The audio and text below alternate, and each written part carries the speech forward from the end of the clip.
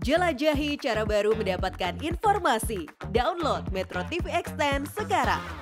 Selamat sore pemirsa Anda menyaksikan headline news pukul 16. Detasemen khusus atau Densus 88 Anti Teror Polri menyebut tersangka terorisme berinisial DE berencana akan melakukan aksi penyerangan atau amaliyah ke markas polisi dan TNI.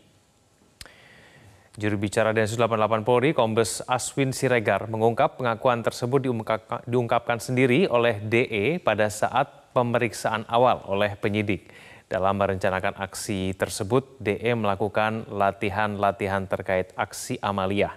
Menurut Aswin, niat tersebut muncul usai tersangka teroris melihat tayangan aksi pemberontakan para narapidana yang pernah terjadi di Makobrimob.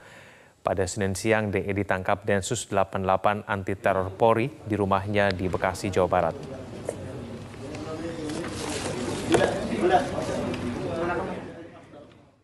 Inspirasi karena memiliki giroh setelah melihat aksi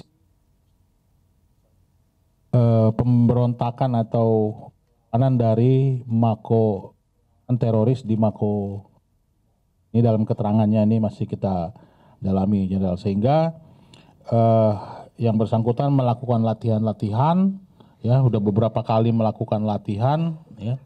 Kemudian memiliki rencana atau niatan untuk uh, melakukan aksi kembali ke uh, Makobrimob yang di Kelapa II dan Makobrimob yang di uh, Jawa Barat. Juga terhadap beberapa markas uh, tentara